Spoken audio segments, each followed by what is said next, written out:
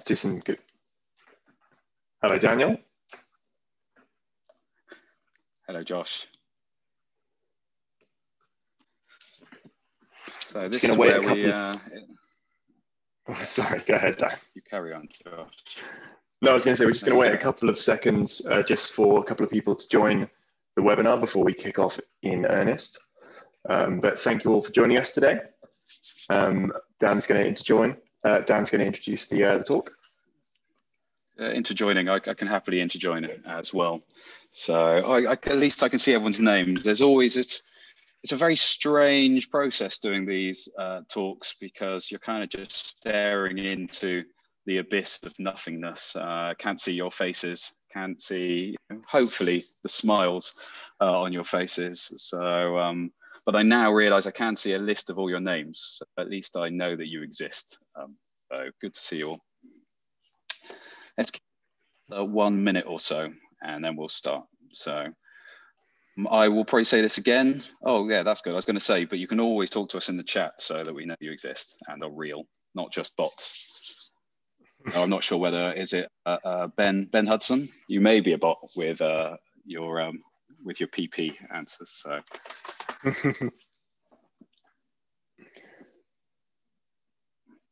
Brilliant. All right. Well, shall we kick it off then? Yes. Why not? So hey everyone, welcome. Um, uh, my name is uh, Daniel Daniel Efergan.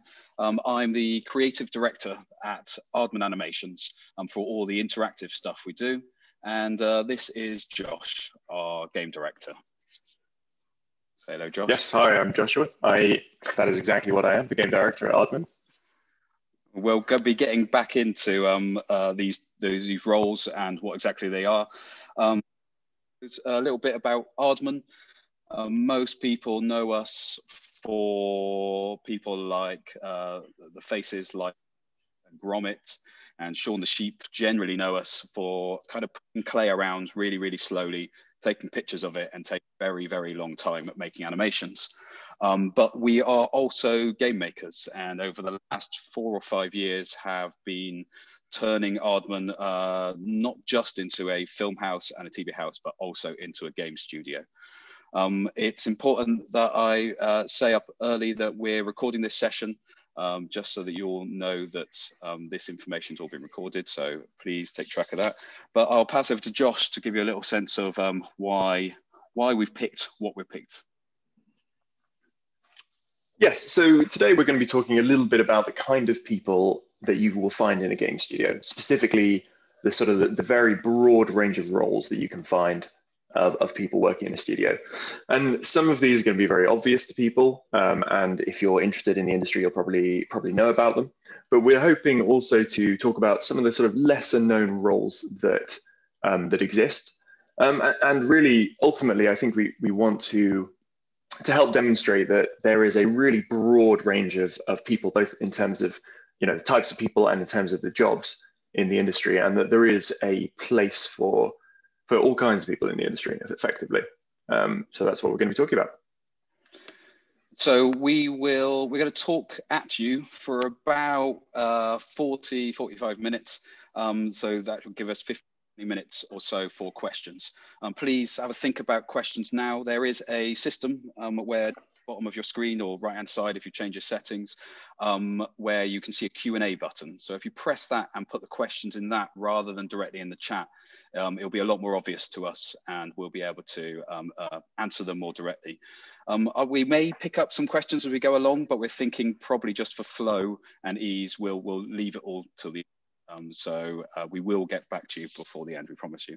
Um, and I, I, guess another thing important to say, I know everyone always says this, a very known saying, but about there being no stupid questions. Um, just reiterating it, please ask absolutely anything. Um, if you if you're missing something, we're the people that have been stupid, and therefore uh, you should just ask it. Um, so let's kick off. Uh, we've got quite we've we've plucked all these different um, uh, uh, roles out. We've got quite a few that we'd like to get into, and off with probably the meanest, uh, most egotistical tyrants in the whole business, um, the game directors. So, Josh. Thanks, Daniel. You're doing a really good job, by the way. Um, so I'm going to try and share the presentation. Um, there we are, seems to be working. Um, yes, so uh, I'm going to talk about uh, being a director, but I'm going to kick off first with um, what I used to do, which is being a designer. Um, and I think being a designer in the games industry is one of the most um, misunderstood roles in terms of the fact that not a lot of people know exactly what it means. I often get asked, "Oh, so you're a designer? Do you do you draw?" No, I'm probably one of the most artistically bankrupt people that I know. Um, so a designer's job really is to focus on interactivity. The thing that separates um, a game from a film or any other type of, of media is the fact that the, the, the player is inside the world you've created and they're making choices and they're, they're an active agent in the world. So a designer's uh, job is to think about what the player is doing in the world and think about how it makes them feel, basically. And broadly, we split this into two types of, of, of design role. Um, the first of which is uh, what we call a level designer. And they're the people who put together the actual sort of um, physical aspects of the world and decide what it is, what, what's in the world for the players to interact with. So if you're thinking about um, a game like, like Super Mario, they're the people who decide where the platforms are and how people are going to jump, how many enemies are going to be in a space, and how many coins and rewards there, there are going to be in and where they're going to be. Um, so they're a little bit like uh, Alex Horne in Taskmaster, you know, creating these sort of fiendish obstacle courses and thinking about how it's going to make people feel and what's going to be the most fun. And then on the other side of the coin, we have uh, sort of games, uh, uh, what we're going to call, sorry, I'm going to get a, a, chart as well so that you can have a look at this. Um, yeah, so then on the other side of the coin, we have uh, what we'd call kind of system designers or um, gameplay designers. And they're, they're concerned not with the world, but with, a, with the tools that we give to people to interact with the, with the world. So if you're thinking of a first person shooter, there'll be the guys who decide, uh, guys or girls decide what gun, what a gun is, you know, how much damage it does, what the missiles are. Or if you're thinking about a, uh, an X4 game like Civilization um, or Age of Empires, they'll be the ones who think about the economy and they'll spend more of their time sort of in databases and in Excel spreadsheets and doing flowcharts and working out the, sort of what the, the systems undergirding everything are. Um, and a director in the games industry um, has a very similar focus, which is how people feel when they play the game, but on a, on a broader scope. So instead of just thinking about the design, they think, you know, what is this game? What are we trying to do with this game? How do we want people to feel when they play this game? And so they're the one that sets out the vision for the game and makes sure that everybody on the team knows the vision. And um, this is the, the art, the narrative, the gameplay, all of this. They've got to make sure all of this pulls together and is all pulling in the same direction. So they're a little bit like a creative thermostat on a cooker. You know, they kind of set the oven to the right temperature and then they constantly check whether it's hot or cold enough and, and adjust the kind of the creative levels to keep everyone on, on the on the sort of focused on the goal. Um, and yeah, so that the creative director role is, is very similar to that. And Dan's going to explain a little bit more about what that means um, from his perspective. So just give me a sec to cross over. Excuse me. Um, so yes, yeah, so a creative director, um, uh, not actually on this list um, because we were wondering where to put it, but the it can mean a lot of different things in a lot of different companies, and therefore it's probably less relevant into any depth. Um, but I think it's the easiest way that I find to explain it is that I'm ultimately responsible for everything that leaves kind of Aardman's building, and in, in, particular, being interactive creative, creative director, everything interactive that leaves the building. So in the end, the creative buck kind of stops and my responsibility therefore spreads across all the various aspects of people that are doing it. And so my day to day is probably more general. I end up dealing with a lot more different kind of stuff, um, whereas Josh's is more specifically on that game and on that product and getting it to happen. But we work very closely together.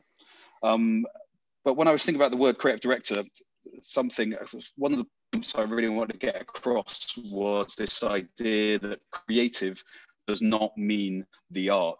It's not that um, uh, creative and drawing or creative and painting go together. Um, and so, although I'm creative director, my history is as a programmer. Um, the 10, 15 I had before I actually became a creative director was all about being programmers. And so I thought we could start with um, those as some of the more obvious kind of people that you definitely have to um, uh, working within a game. Now, it's a well-known role. I could talk about it for ages. I, I love talking about programming um, uh, because I used to be a programmer, but I will try and keep it very tight because we want to get to the more interesting ones. Um, because there's no surprise behind the fact that to make computer games, you need people that manipulate the software um, to get it to do what, what that we want it to do. But they come, programmers come in many different flavors. Uh, and in my head, I always think of them as two main areas, two kind of ends of a spectrum. You have the programmers who use code to make things they that they feel should feel like that. They're kind of all about test by the outcome. It's very much the way that I was a programmer. I wanted my computer to do something, and so I had to learn programming to make that happen. And those kind of people that are more obsessed by the end product tend to be the gameplay programmers, behavioral or uh, AI coders, even the kind of um, effects coders that are interested in how particles and systems all work together. Um, on the other end of the of this kind of spectrum, you end up with the programmers who code because they love the beauty of code. They they they love um, the efficiency and the artistry in the craft of actually coding. And they tend to get into more kind of systems based stuff, dealing with servers, dealing with networking, um, dealing with databases, dealing with things that um, uh, the really complex problems that involve data and code. Um, but every game needs both of these, and every game has a collection of these. And across this spectrum, you also have people that sit somewhere in the middle. I don't want to try and start uh, stereotyping our coders into one box or another. Um, the kind of code languages that people are working, um, if you're into this, you'll, you'll probably know this already, but um, things like C Sharp and C++ are probably some of the more well-known and useful languages. Uh, you're getting into different parts of it. JavaScript can be quite useful, good entry level um, scripting language. And then also for a different kind of coder, different kind of programmer, there's Python.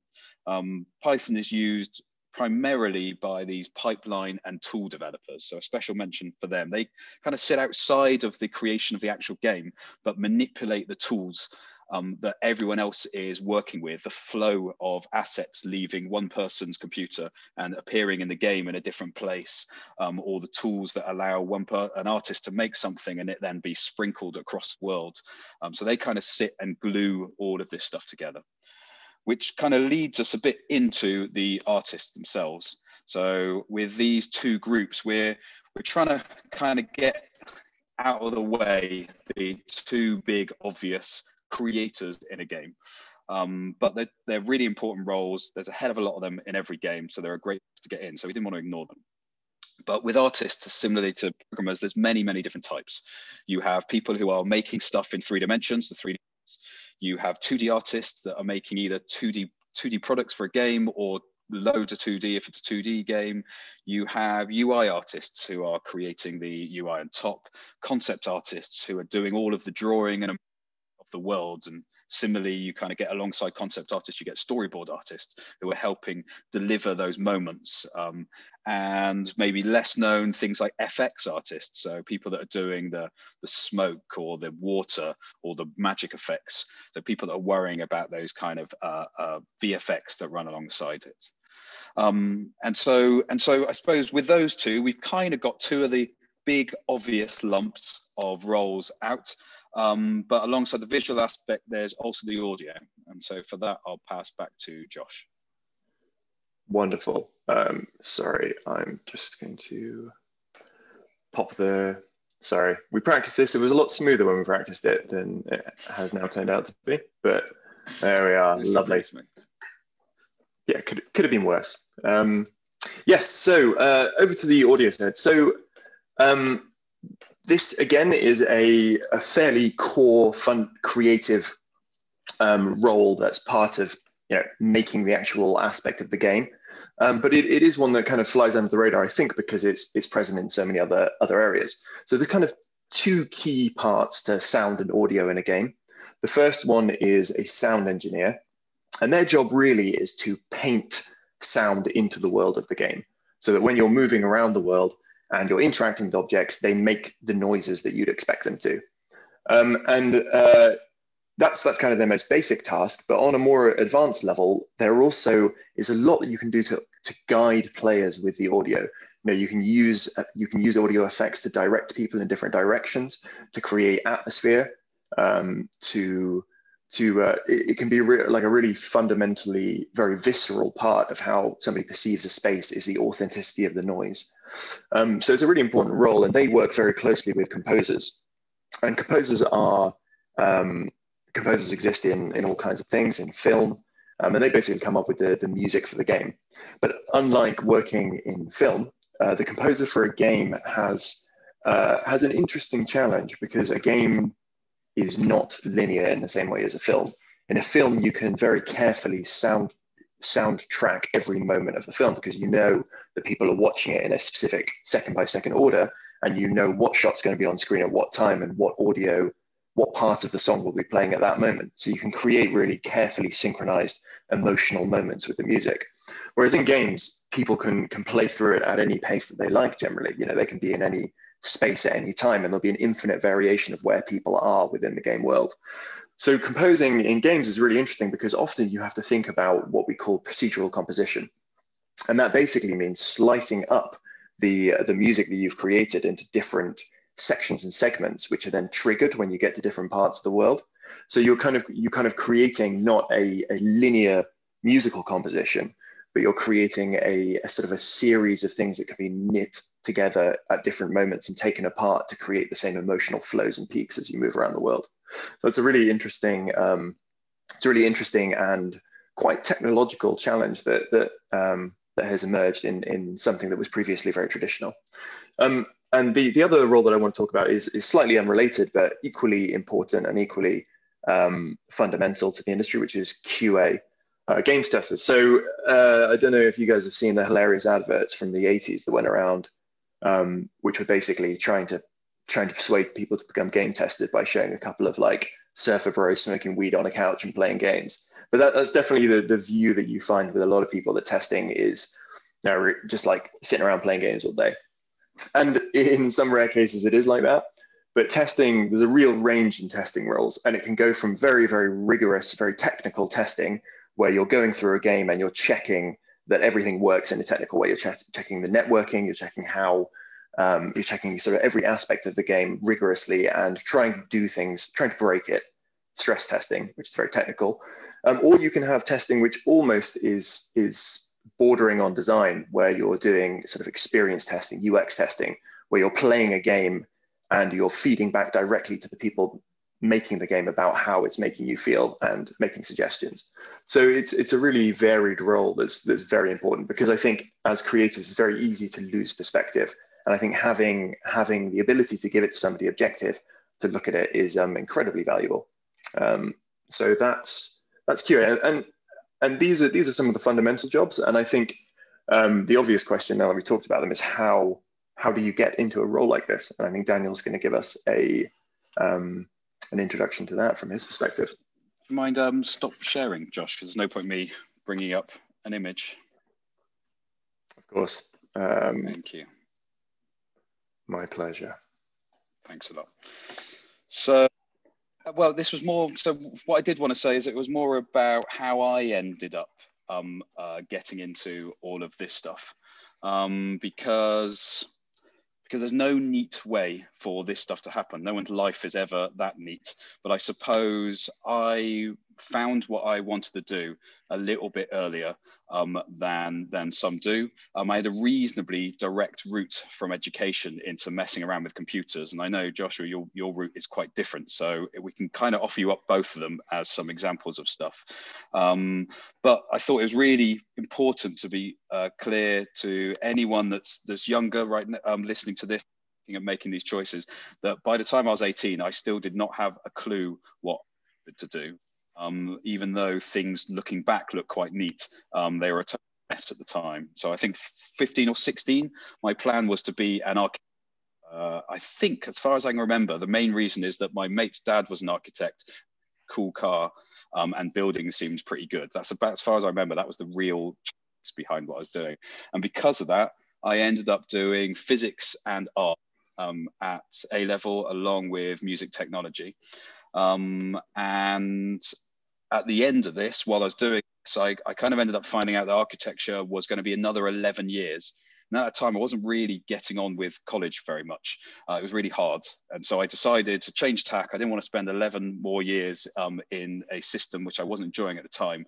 And uh, time was running out to make a choice. And it felt like I flicked through a book, uh, the UCAS book, which was all the course at the time, saw a picture uh, even flicking through a book, I realize it's quite ancient now, isn't it? Because you would just use the internet. But at the time, I was still flicking through a book um, uh, and decided I saw a picture of someone messing around with a computer and a weird ball interface. And I thought, that looks cool. And I signed up for this early creative computing course. Um, and I'd say that I wasn't really getting on with college. I think probably a more realistic outcome is that I was really getting on with life. Um, I was drinking when I probably shouldn't have been drinking, and smoking when I probably shouldn't have been smoking, and skipping classes when I shouldn't have been skipping classes. Um, and so, uh, and so everything was starting to go wrong um, at my college time. Um, and but luckily, the school was good enough and cared enough about me to write home my mum cared enough about me to kick my ass and um, uh, and kind of ground me basically. And so I scraped through in the end with a C, D, and D, I think on my A levels, um, and got onto this course, which was lucky because the course itself, within the first couple of weeks, is where everything for me fell into place.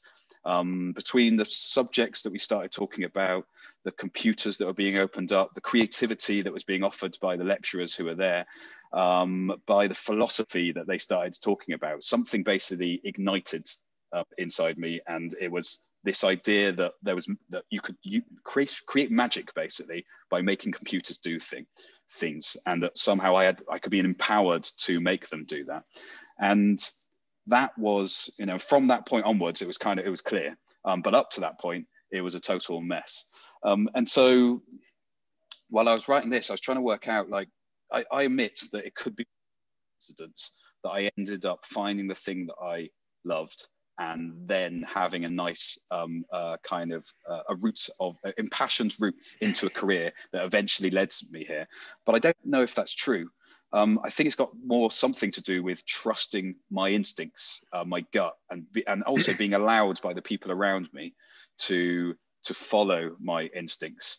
Um, and that's something I thought again. It's just like kind of worth putting out there that that things seem to make sense when you look back at them, but at the time they're a total mess. Um, and so to kind of trust your instincts a little bit, if you if you love things, kind of follow them, and they will lead you places. Um, but I mentioned Josh had a alternative kind of journey on his. So Josh. Yeah, um, mine mine was I think in some ways different, in some ways similar. I think the the similarity is that um, I too didn't really know what I wanted to do. I ended up going to university and studying archaeology uh, because I liked it. Um, and because I was too bad at Greek to do classics, which is you know is what I started off doing. Um, but uh, but yeah, I had a I had a great time at university. I really enjoyed it, and I got to the end, and everyone else knew what they wanted to do, and I didn't. I knew that I wanted to do something creative. Um, I'd always enjoyed writing, um, but I, I ended up just sort of looking around and I'd always played and enjoyed games. And I saw that it was it was an industry which was really opening up. There were lots of jobs becoming available in, in the creative side. And I just started applying. And I was very lucky that a company that made historical video games happened to be looking for a writer at the time. So as a as somebody with an archaeology degree who had an interest in creative writing, you know, it, it was a very fortuitous um, occurrence. But I think I think it, it was it was fortuitous. Um, but I think what what's interesting about it, and, and this is this is a little bit what we're going to get into with our next batch of roles, is that I think I'm always amazed by how varied the game industry is and how many games there are about how many different things. And I think what I what what I would take away from my background story is that you know, regardless of what your passion is, if you spend time honing your passion and becoming an expert in something, then there will probably be a route into a game or game or the games industry just based off that. Um, so I'll, I'll talk a little bit about my my time at uh, my first job at Creative Assembly, just to kind of kind of explain a little bit more about that. If that's all right with you, Dan. Please carry on. Yeah, pop up the old the good old screen share. Here we are. So yeah, so now we're going to move into our, our next segment, which is basically um, slightly less obvious, but still fairly obvious.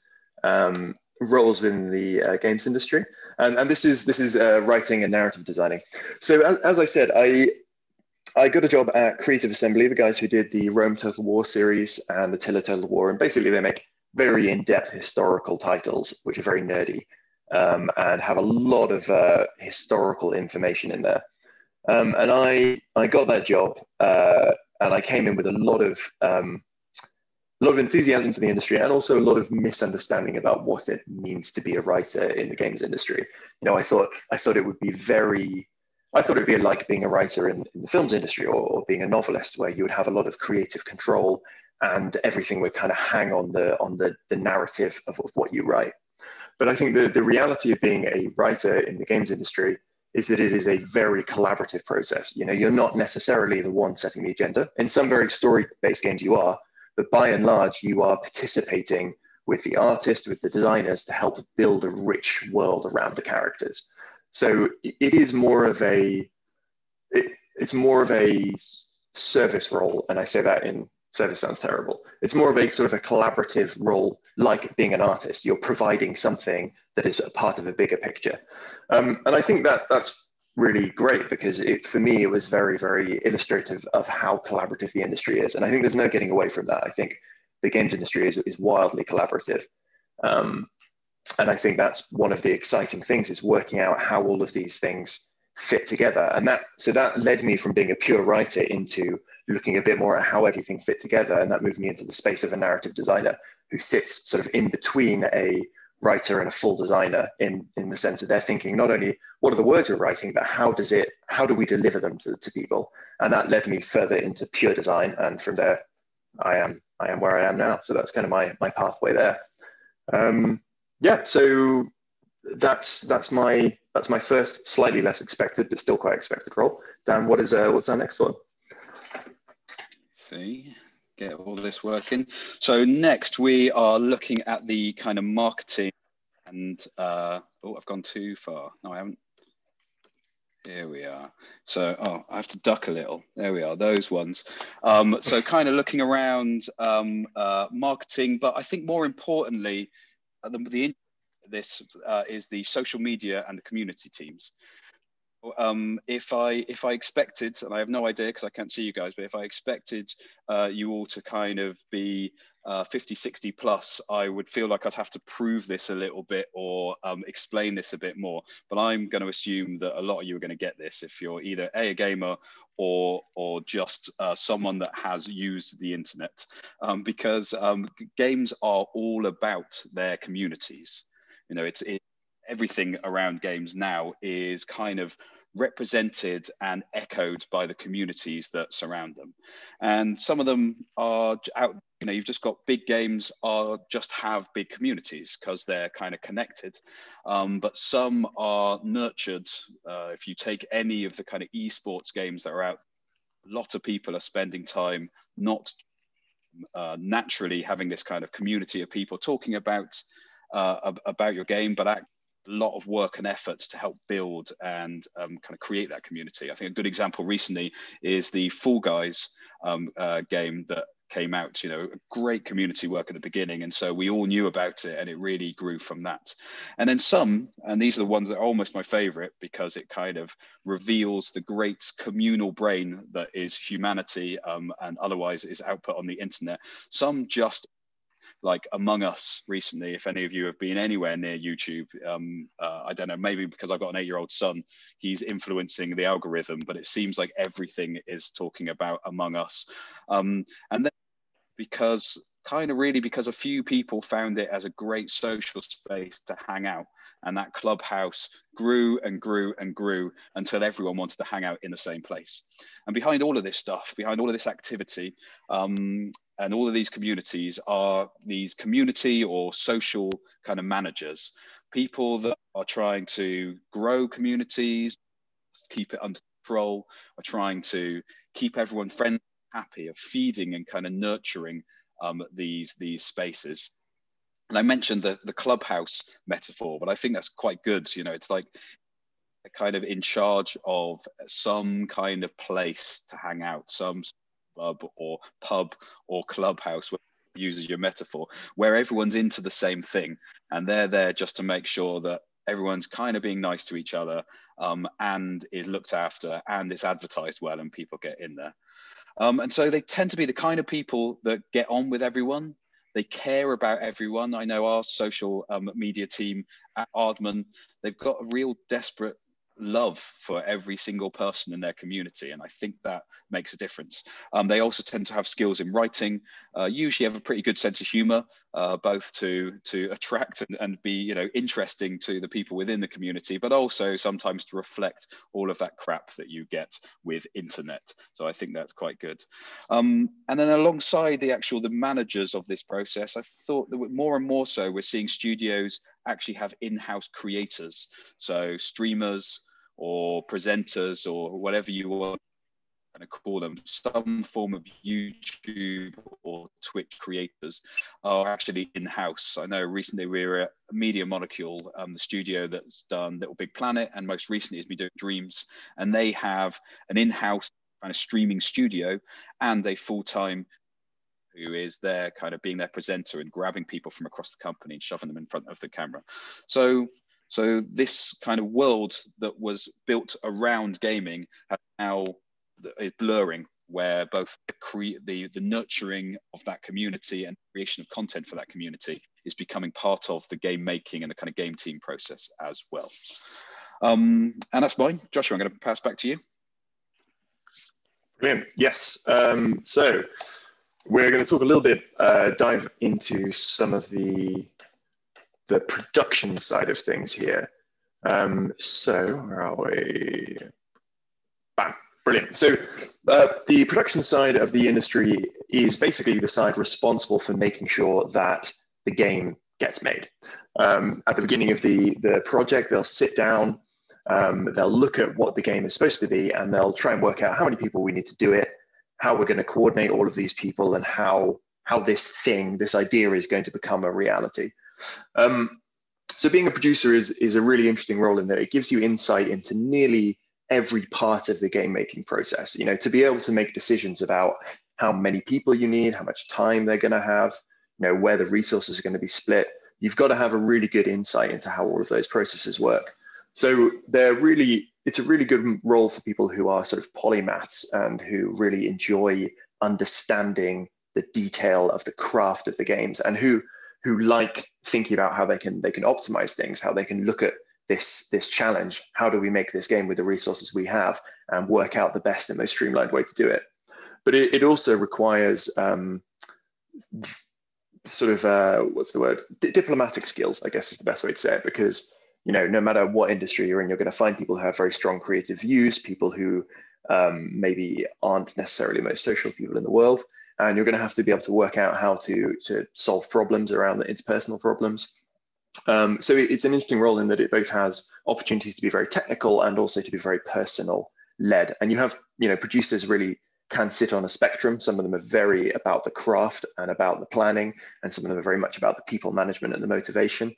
Um, so it's a really, yeah, it's really interesting from from that respect. And and production assistants and financial controllers sit in the same sphere of, of making sure that the practical side of getting the, the game done is done correctly. Um, and the, the, other, the other sort of production role that I want to talk about, because it often goes unnoticed, is, is localization. So localization is sort of the, the games industry equivalent of a master translator. Because we live in such a global connected world, um, every game we make is consumed by, you know, across the across um, hundreds of different territories, all speaking different languages. And not only do you need somebody with a very good grasp of linguistics to coordinate the translation and to do the translation themselves, but you also need somebody to understand the cultural sensitivities. Um, and there's been quite a lot of uh, incidents in the news of where studios haven't necessarily thought about how their content will come across in another culture and in another place. So localization often has to be thinking about that and uh, and making sure that you don't kind of uh, reproduce content in a way that is offensive to other people. Um, yeah, and so over to to Daniel to to talk a little bit about how you would get some of these. Oh, sorry, go ahead. No, I was just going to say, do you mind um, uh, again just stopping sharing because I don't want to bring anything else up for this bit. No, of course, of Thanks course. Um, no, it's just really to conclude this bit before we dive into um, how long. 10 minutes left at preferably. And so and we'll end with a few of the weirder and more wonderful roles um, that you find in some places. Um, but what i thought was interesting about the roles we were just talking about is that is that they're not really exclusive to the games industry. Um, and you can use that kind of to your advantage as um, you know you can start in one industry and and just build up that skill. Um, and between that skill showing yourself off harassing people um, there is a lot of people talk about luck you know being in the right place at the right time. And sorry this is a bit of a tangent but i think it's worth saying.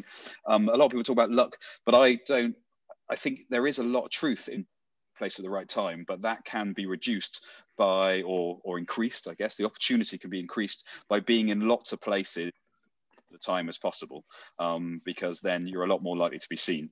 So doing things like that and having this skill is a way of then being picked up and moved over into the gaming industry.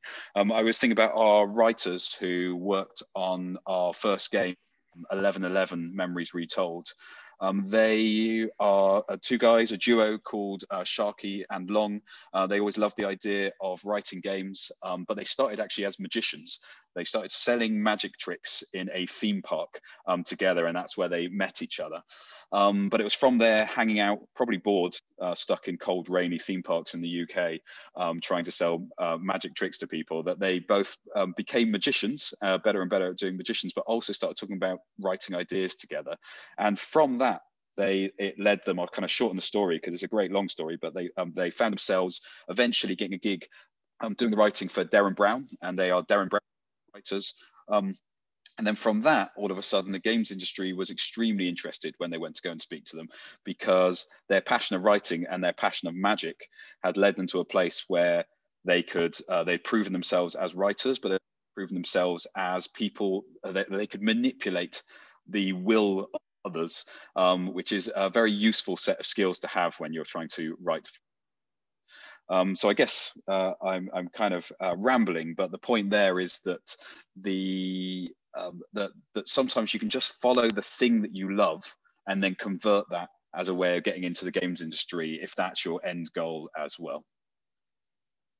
So now I think with the weirder and wonderful, more more wonderful roles you may find. Is that right, Josh?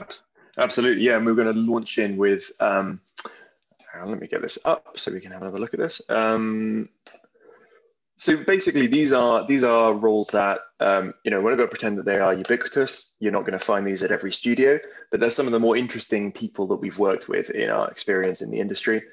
Um, and I think they really go to hammer to demonstrate exactly what Dan was just talking about. The fact that if you are really passionate about something and really develop your craft, regardless of what it is, there is a point at which it intersects with the industry.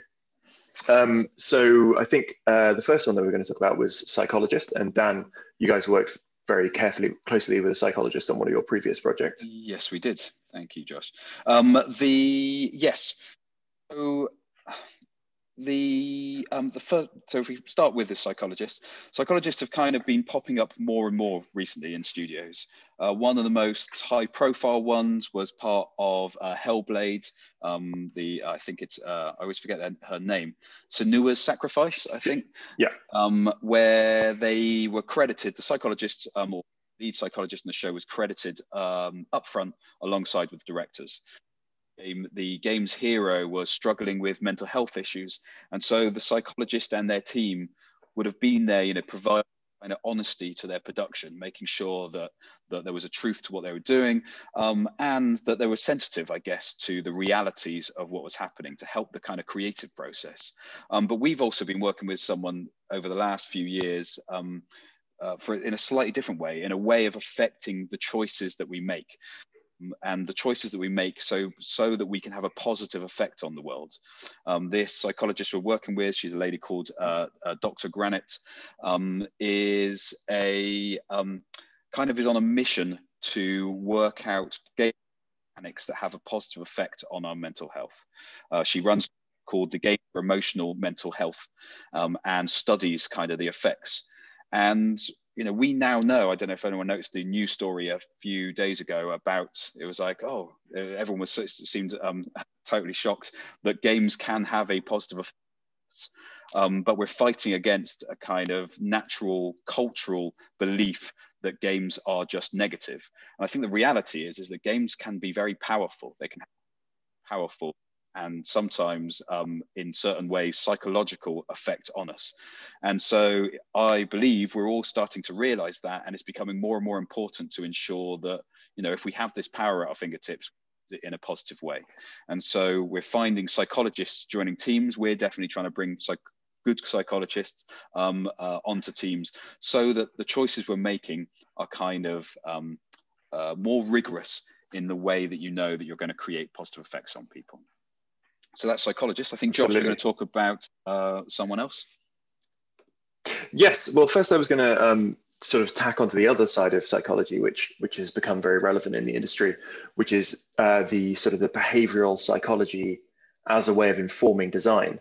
Um, because I think in recent years there's been a real uh, increase in interest in behavioral psychology, especially in economics, which is basically looking at the fact that, um, contrary to, to traditional economic thinking, um, people don't make rational decisions, that the way that you present a decision to somebody can completely change their response, even if you, uh, even if it's the same decision as something else. So you can present the same option to somebody, frame it in two different ways, and they will react to it in a very different way depending on how it's framed.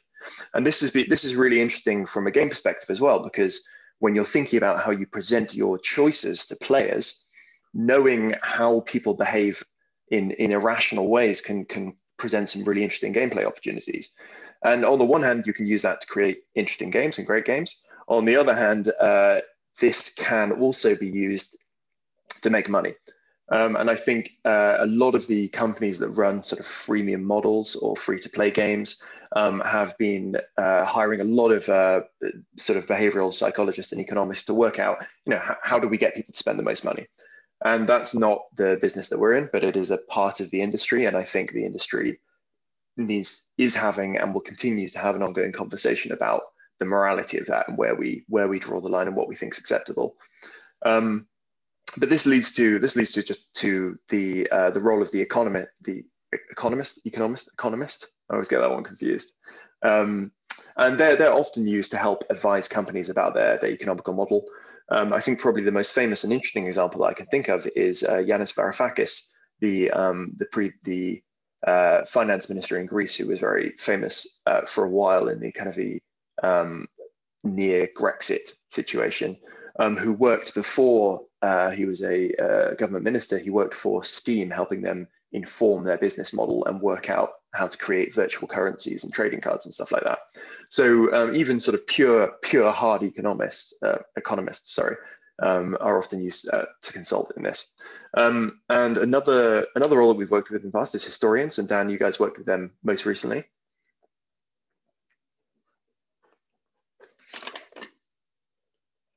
Uh, Dan, you're mute. Sorry. Oh, I was just saying that I was slightly uh, organized this time and then did that. So uh, yeah, let's try that better. So yes, historians. Um, and uh, also just a nudge, I, I, put it in chat, but um, uh, please um, start throwing questions at us because we, we are uh, wrapping up very soon. So we'd love to um, we'd love to start getting some of those so that we can be a bit more specific about any questions that you've got.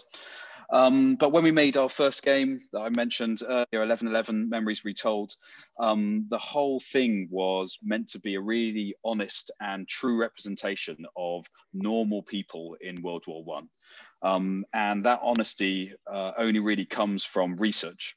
And so we had two historians uh, on our team were there, one from Germany and one from England, because we wanted to ensure a more realistic picture, a non-biased picture of all the kind of various, um, because historians obviously come with various lenses that they put in place, and the way that we look at our history.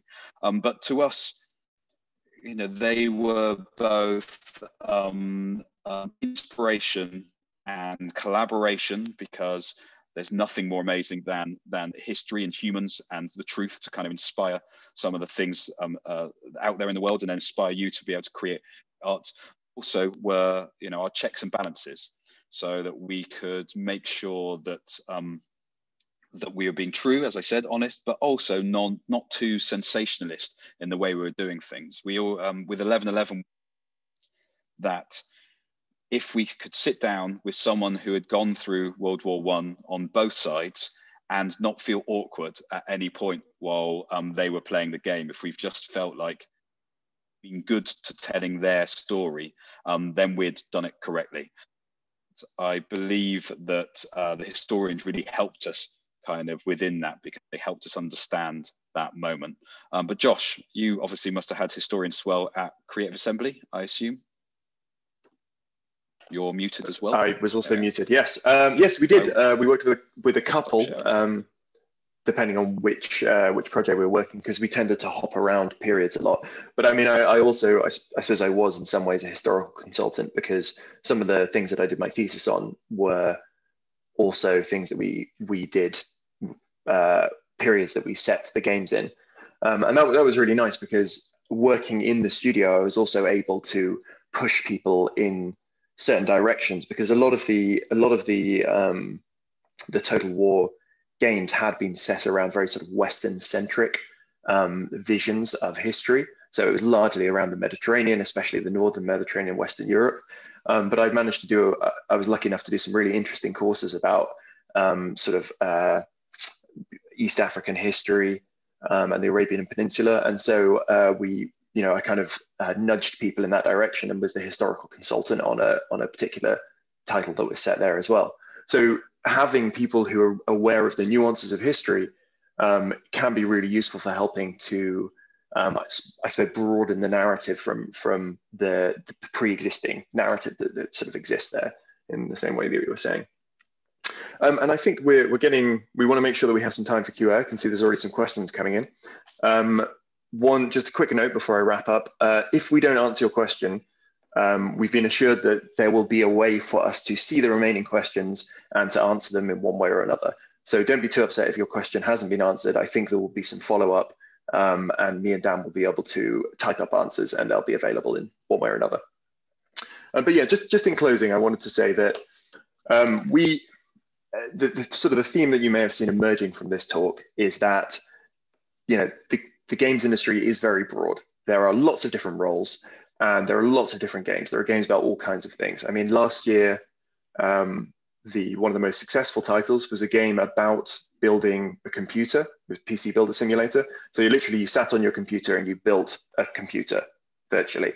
Um, so I mean, every niche can be successful in the games industry. Um, so I think the the first aspect of that is you know if you want to be in the industry, following your passion, and this sounds very wishy-washy, following your passion can be a very realistic route into the industry. But the other thing that I want to acknowledge in this respect is that while the industry is broad in terms of the types of games it makes, it's not nearly as broad as it could be. You know, there are thousands and thousands of things out there that games haven't been made about.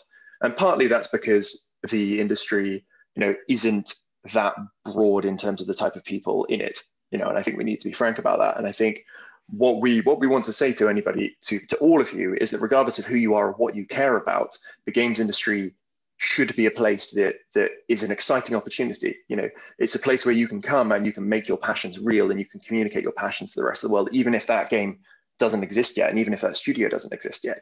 Um, so that's that's really what i'd like you all to take away regardless of what you're interested in that you know this could be a place for you to a really powerful creative communicative space for you uh, anything else, Dan, before we hand over to questions? No, no, it was very eloquently finished, I think, there, Josh. So I'll leave. I'll leave it. I won't be able to add anything right. useful.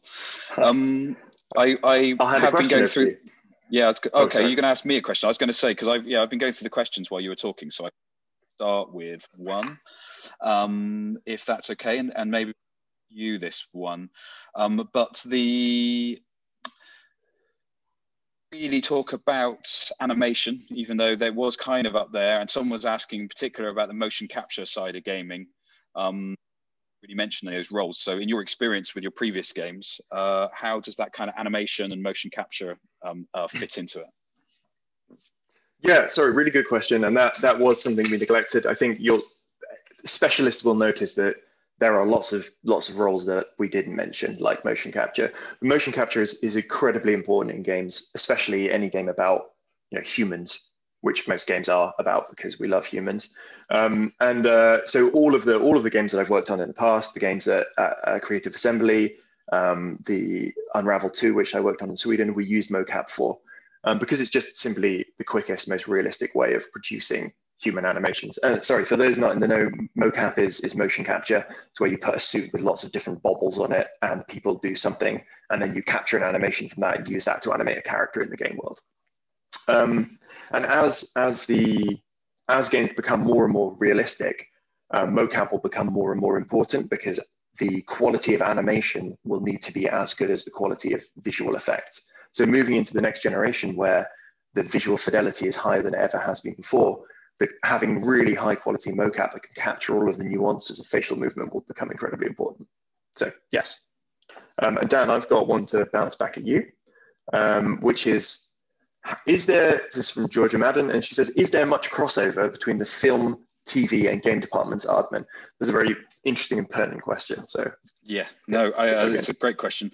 Um, um, within Aardman, much so. So, um, uh, I could talk, I could easily fill up the rest of the time, but keep it reasonably tight so we can get some more questions. But um, yeah, we've set out as a company to specifically um, uh, break down those barriers between our forms of media.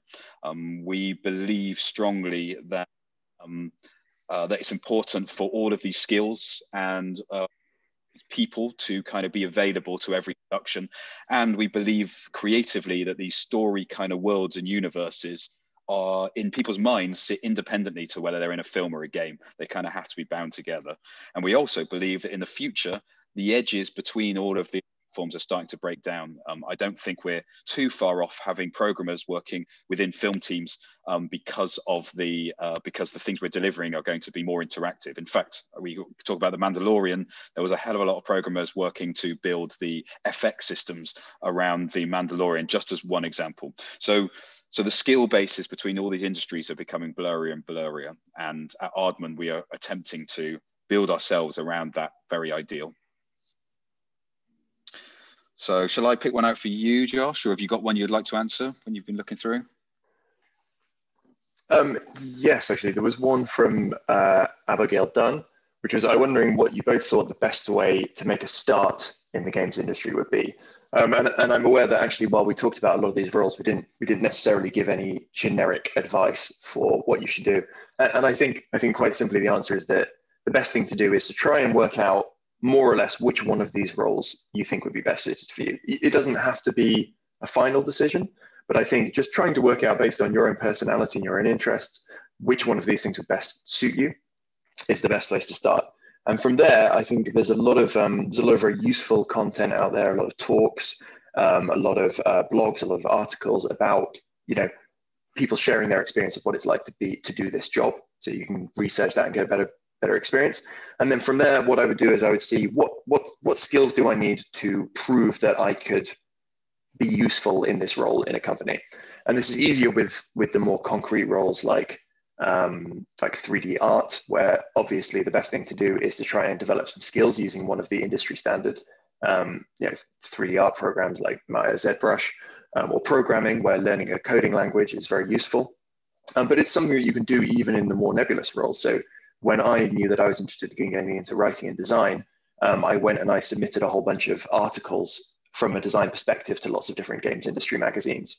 So it's about it's about trying to work out ways in which you can demonstrate the skills that are commonly used in the industry beforehand by yourself. And um, you know, there are there are loads of different things you can do. You can do courses. Um, you can read about it. You can make your own games. There's a lot of tools that are out there that allow you to mod pre-existing stuff. So take something like Skyrim and build your own mini game using their tools. Um, and there's a lot of way, yeah. So there's a lot of ways of, of kind of getting a feel for it that way. Uh, anything to add there, Dan? yeah, like I mean, question? it's. I think you're right. Um, the, uh, going back to that right place, right time thing. You know, in as many places as possible. And obviously, these days it's um, even more confounded. It's, they're all digital spaces, but being in places um, being on sites, being on creative portfolio sites, or um, turning up at game jams is one thing you didn't mention, but we kind of, you know, we love every time someone comes through the door and has been going to lots of game jams um, uh, and trying stuff out lots, um, and then they come and talk to us, I instantly kind of focus on them because um, it shows that they that people care and it shows that they've already kind of broken the back of trying to do that stuff. The only other thing I'd add is that there's something about the fundamentals when, uh, so if you take programming, obviously the fundamental of coding is important and it doesn't matter too much about having specific skills it just about there is something about the base of it. And then similarly with drawing and with animation i would say there's something about um, the core kind of aspects of being able to draw. So people that turn up and have life drawing examples and have kind of all those things as part of their life there's those specific kind of underlying deeply underlying um, skills are also great fundamentals to build up as well. Yes.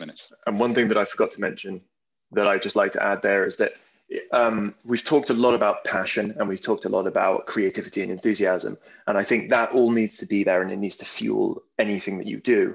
But I think one of the most important things that somebody will look for when you're coming to them to apply for a job is that you understand your craft and the impact of it. Because I think the games industry is full of a lot of people who love games, and some people allow their personal tastes to um, basically warp their judgment effectively. So they, they come into the industry thinking, you know, what do I like? What do I care about? And they don't necessarily understand how their their decisions are impacting the product that they're working on.